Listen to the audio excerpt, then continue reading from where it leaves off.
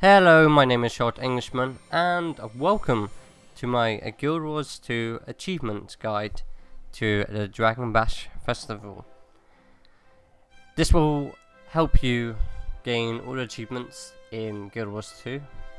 Um, I suggest that you start with Meet the Host, as that's kind of the easiest, and it tells you about the event history and all the uh, challenges up ahead. So, click on any of the achievements you like and uh, it will take you to the video.